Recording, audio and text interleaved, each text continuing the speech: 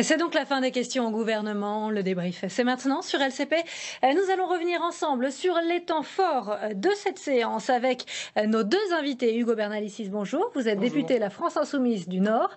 Face à vous, Julien Diff, bonjour. Bonjour, Vous êtes député Les Républicains de l'Aisne.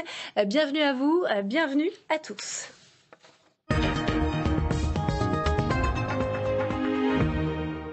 Julien Dive, vous entendez le gouvernement, il faut un changement de méthode après que le gouvernement, les gouvernements précédents aient, failli sur les banlieues Il faut peut-être un changement de méthode, mais ce que je constate, c'est que la méthode que le gouvernement cherche à appliquer, c'est la politique du premier de cordée. Le problème, c'est que le premier de cordée, en France, euh, c'est le premier reste premier et le cinquième reste cinquième. Or, la valeur de la République, c'est l'ascenseur social, qui fait que le cinquième peut aussi devenir premier. Et là, je suis en désaccord total avec les annonces qu'a pu faire le gouvernement sur le plan banlieue. D'ailleurs, je précise qu'on est face à un des plus gros couacs de ce début de quinquennat, doublé d'une opération de communication. Je rappelle la chronologie. En novembre, le gouvernement, le, président de la République, demande à Jean-Louis Borloo de faire un état des lieux, un constat et de remettre un rapport. En avril, Jean-Louis Borloo remet ce rapport. En mai, le président de la République tue ce rapport. Au nom de quoi? Au nom d'une impréparation, parce qu'on voit bien, que ce soit sur la ruralité hier ou que ce soit sur la banlieue aujourd'hui, le gouvernement et le président de la République en première ligne n'étaient pas prêts à répondre aux attentes des territoires, aux attentes des Français qui vivent dans ces territoires. Et deuxièmement, j'ajoute surtout qu'en fait, on assiste à une véritable guerre d'égocentrisme entre un président de la République qui a le sentiment qu'un Jean-Louis Borloo est omniprésent sur un sujet comme celui-ci. Et pourtant, Jean-Louis Borloo s'est dit très satisfait à l'issue de ce discours que tous les sujets du rapport ont été cochés. Euh, je le cite. Après, c'est un art de l'exécution. Oui, bien sûr, Jean-Louis Borloo, c'est aussi euh, manié avec euh, beaucoup d'art euh, la, langue, la langue de Molière, et c'est aussi éviter les couacs, en l'occurrence, ou en tout cas la polémique, et je pense qu'on en est là plutôt. Vous avez le sentiment, Hugo Bernalicis, que c'est un enterrement du, du rapport Borloo? Oui, j'ai l'impression que ça ressemble à ça. C'est pas la langue de Molière, faut le dire ce qui est. Ça s'appelle la langue de bois. Hein. C'est pas mal pratiqué encore.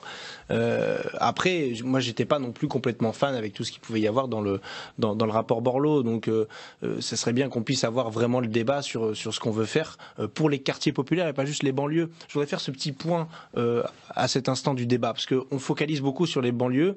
Moi, dans le département du Nord, qui est un département où il y a énormément de quartiers politiques de la ville, c'est comme ça qu'on les appelle les quartiers prioritaires ou où vont les fonds de la politique de la ville. Il y en a plein, ils sont dans des territoires qui n'ont rien à voir avec une banlieue. Euh, ce sont euh, des villes de taille moyenne avec une extrême pauvreté au fin fond du département du Nord, entouré de campagne.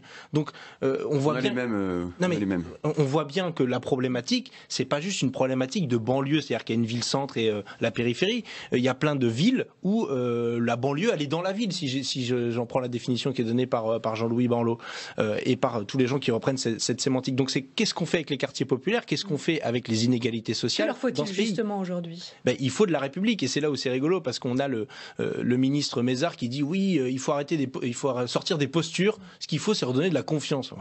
on n'est pas sorti de l'auberge. Dans la posture, il n'y a pas de fond, il n'y a rien. Dans la confiance, c'est, vous savez, c'est nébuleux. On ne sait pas ce qu'ils, ce qu'ils veulent. D'ailleurs, on voit bien ce que la, la ligne d'Emmanuel Macron, c'est de dire euh, dorénavant, ce sera comme avant en la matière. Euh, on change rien, on verra plus tard euh, ce qui fonctionne et ce qui fonctionne pas. Non, ce qu'il faut, c'est plus de république. Et moi, je suis, me porte en faux avec ce slogan qui était euh, une chance pour la France. Hein. C'était le hashtag qui a été utilisé, le mot clé qui a été utilisé pour pour ces, ces annonces. moi, je, je m'en fiche de la chance. C'est pas mon sujet. On est dans un état de droit, pas dans un état de chance. Ce qui m'intéresse, c'est l'égalité en droit euh, sur le territoire. Et on le voit dans le constat qu'a fait euh, Jean-Louis Borloo, que dans ces quartiers qui sont en difficulté, ou ces villes moyennes, ou ces endroits où il y a des difficultés, on a euh, distendu le lien avec les services publics. Et c'est là où ça rejoint, par exemple, la manifestation qui a lieu aujourd'hui des fonctionnaires. Je vois mal comment on peut faire plus pour les quartiers populaires en expliquant qu'il va y avoir 120 000 fonctionnaires. comment rétablir justement l'équité territoriale aujourd'hui, Julien Div C'est par ce type de mesures, avec la police de sécurité euh, du quotidien, euh, notamment avec des protocoles de, de collaboration entre l'État, les communes, le plan de bataille pour l'emploi, pour l'éducation? C'est la présence déjà de l'État dans les territoires, que ce soit la ruralité. Moi, je connais bien la ruralité, je connais aussi la ville, les villes moyennes. Dans mon département et dans ma circonscription, j'ai une ville moyenne, Saint-Quentin, 50 000 habitants, avec des, des QPV, comme le décrivait euh, justement euh, Hugo, euh, avec la présence de l'État. Et la présence de l'État, ça passe par du service public, que ce soit en relais, que ce soit permanent, que ce soit total, peu importe, mais il faut inventer au moins une présence de l'État, parce que la peur des Français qui vivent dans ces territoires-là, c'est aussi d'être décroché, de rester sur le quai au moment où le train part. Et moi, je veux pas qu'on laisse d'un côté une France avec une France qui aurait le sentiment d'être totalement oubliée, et parce que tout ça vient qu'alimenter les populismes, vient qu'alimenter eh bien les résultats qu'on voit dans des pays voisins. Et puis en même temps, je voudrais aussi que il y ait une vraie présence de la République avec un état de droit. Et là aujourd'hui, on le voit avec l'actualité, que ce soit à Pau, que ce soit à Marseille euh, ce matin, eh bien c'est la présence euh, de euh, la République en tant que mm. en tant que force force républicaine. Il est là aussi l'importance. La police de sécurité du quotidien n'y répond pas. La PSQ, c'est une une communication qui a été élaborée par Gérard Collomb, qui d'ailleurs en test pas dans tous les territoires. Aujourd'hui, on est sur du test. On ne sait pas euh, véritablement ce qu'elle apportera comme réponse. On est encore sur un balbutiement. D'ailleurs, je crois qu'on a surtout euh, euh, mis un badge euh, PSQ à la place du badge police nationale pour certains euh, effectifs parce qu'on doit les former aussi, on doit les préparer, on doit aussi les recruter, on doit aussi identifier qui sont les bons points de relais dans ces quartiers-là. Et c'est comme ça qu'on arrivera à créer une vraie, un vrai point d'équilibre. Il est là le sujet, c'est de ramener. Alors le, le, le, ministre parle de confiance. Confiance, comme tu le disais tout à fait, ça veut tout dire et rien dire. Moi, je crois qu'il faut surtout ramener de, de, de, voilà des actes, puis surtout une forme d'espérance quelque part dans ces quartiers-là. Alors on va justement aller sur un, un autre volet euh, de ces mesures pour la banlieue avec cette question de, l'éducation. On va tout de suite écouter le, Premier ministre, Édouard euh, Philippe, euh, qui défendait les, mesures d'Emmanuel Macron dans l'hémicycle. En matière d'éducation, c'est l'approfondissement des mesures de dédoublement des classes primaires en CP et, et CE1. C'est une initiative très ferme et très ambitieuse sur les questions relatives aux stages de troisième. Et tous les maires, tous ceux qui connaissent intimement ces quartiers savent que les stages de troisième sont la source d'un dysfonctionnement. Bien entendu que certains maires ont pris des initiatives ou que certains acteurs locaux ont pris des initiatives pour corriger cette euh, discrimination qui trop souvent s'exprime au moment du stage de troisième. Néanmoins, nous pouvons faire mieux, nous pouvons faire plus. C'est ce qu'a indiqué euh, le président de la République.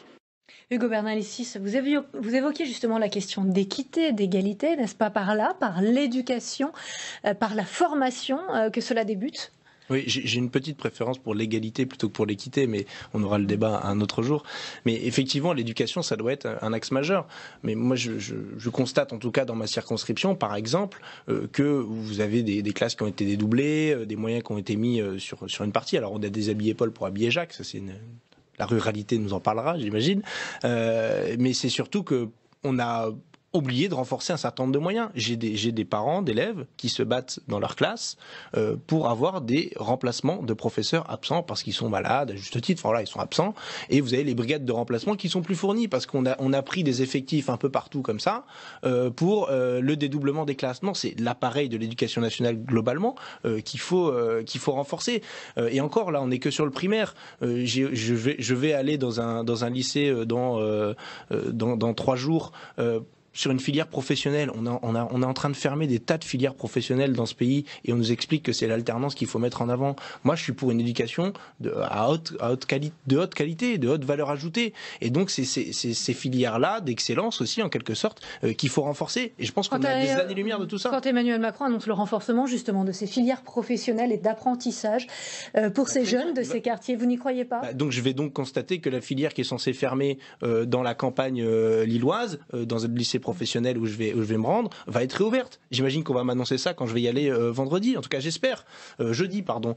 Donc, euh, c'est, c'est, il y a une déconnexion entre la réalité. Vous savez, c'est comme au ministère de la Justice. On vous dit, mais le budget est en hausse, tout va mieux, le budget est en hausse. Et puis les gens, chez eux, ben, leur, leur ordinateur, c'est toujours un vieux coucou. La pile de dossiers continue de s'accumuler. Il passe où cet argent?